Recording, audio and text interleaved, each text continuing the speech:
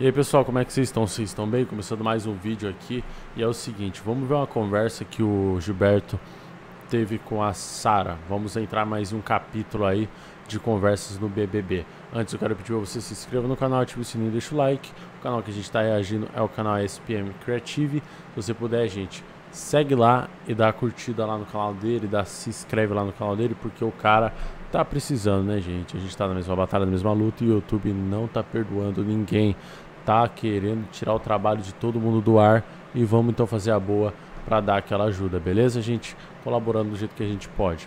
Bom, gente, vamos lá. Segue a gente no Insta. O Insta é esse aqui. Quem segue, eu sempre mando aquele abraço. Subiu um seguidor novo, já vem aqui no coraçãozinho, já vejo quem é em vídeo. Já mando um abraço pra você em vídeo, totalmente de graça, beleza? Vamos Acho ver. Que foi preciso. Eu me arrependo apenas de não ter sentado com o Rodolfo, conversado antes. Eu não tive essa coragem, não tive esse cu de fazer isso. Tanto que Tiago citou minha indicação. Ele tentou tapear falando do confessionário, mas não era. Era tudo pra mim. Eu falei que ele ia falar da indicação do líder, tinha certeza. ele falou, eu já, já senti seu braço aqui já assim, ai meu Deus, ai meu Deus. Eu falei que era pra mim. Eu digo que o discurso do Tiago é tudo pra mim. Ninguém acredita. Eu tinha que ser líder.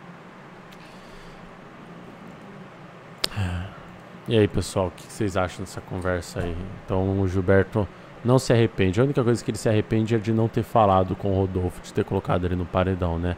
E o Rodolfo ainda querendo passar pano pra cima dele pra, pra Sara. Bom, gente, se inscreve aí no canal, ative o sininho, dá aquela ajuda. Nossa meta é chegar a 80 mil inscritos até o final do mês. Temos aí uma semana pela frente, então eu conto com você, beleza? Se inscreve aí e dá aquela ajuda, beleza, meus queridos? Tamo junto.